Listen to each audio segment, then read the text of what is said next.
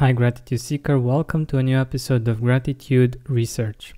Today, we're going to focus on a um, piece of research called Why Are Materialists Less Happy? The Role of Gratitude and Need Satisfaction in the Relationship Between Materialism and Life Satisfaction.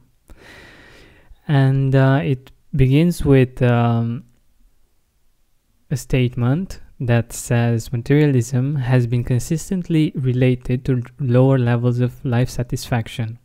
The study concluded that uh, life satisfaction is directly correlated with gratitude, whereas um, the need satisfaction, the satisfaction of uh, different needs, is indirectly correlated with um, life satisfaction basically they proved that uh, having more things meeting more of our needs doesn't directly correlate with more happiness with more life satisfaction.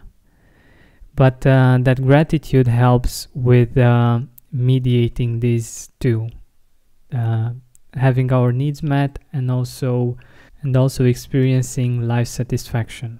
It's something that most of us know that things by themselves don't make us happy, or at least they might make us happy in the beginning because they are new and they solve a problem for us. But uh, appreciating them and uh, being grateful makes for a better life, for better quality of life, and for more life satisfaction. That's it for today. Thank you so much for listening to this episode. And uh, if you haven't done so already, make sure to subscribe.